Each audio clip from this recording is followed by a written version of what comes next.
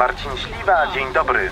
Wiemy, kto smrodzi w Skawinie. To Valeo i Vesuvius. Tak wynika z opinii Wojewódzkiego Inspektoratu Ochrony Środowiska.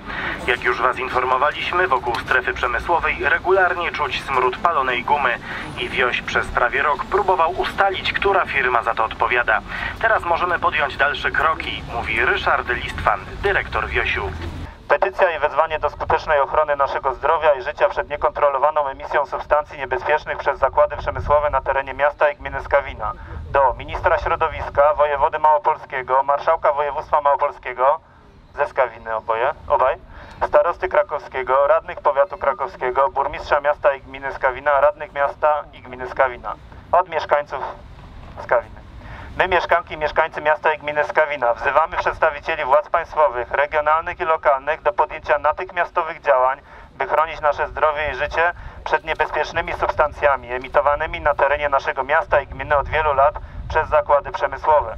Nasza petycja powodowana jest brakiem jakiejkolwiek praktycznej kontroli emisji substancji niebezpiecznych do powietrza oraz opinią Wojewódzkiego Inspektoratu Ochrony Środowiska w załączeniu potwierdzającą obecność bardzo niebezpiecznych substancji w dławiącym chemicznym fetorze, który spowija nasze miasto i gminę.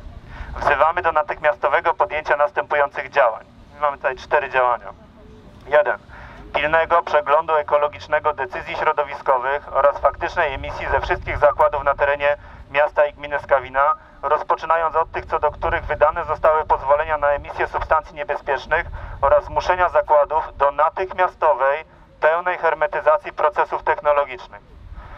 Pilnego wprowadzenia stałego monitoringu niebezpiecznych substancji w powietrzu na terenie osiedli ludzkich w mieście i gminie Skawina oraz zmuszenia zakładów do stałego monitoringu zanieczyszczeń na emiterach, wewnątrz i wokół zakładów w czasie rzeczywistym oraz publikacji tych pomiarów.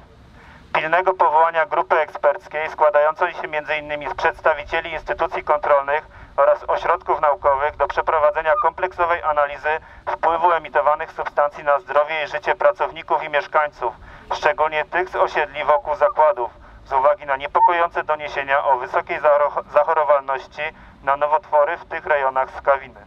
Natychmiastowego ustanowienia zakazu lokowania nowych zakładów przemysłowych trwale negatywnie oddziałujących na środowisko w mieście i gminie Skawina ze względu na przesyt przemysłowy spowodowany lokalizacją kilkudziesięciu takich zakładów w jednej gminie, na przykład przez stosowne zmiany w miejscowym planie zagospodarowania przestrzennego oraz opracowania strategii rozwoju miasta i gminy Skawina w oparciu o inwestycje neutralne dla środowiska.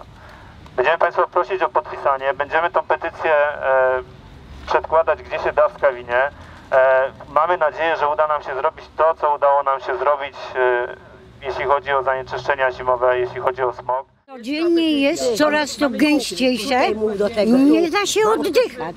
Naprawdę czasami na wymioty. Kiedyś siedziałam na polu, proszę pana, niech mi pan wierzy. Przyszłam do domu, non stop mam buzi ten zapach śmierdzący. Jak mnie na wymioty brało, poszłam, wzięłam kubek, musiałam sobie usta wypłukać, bo się nie dało.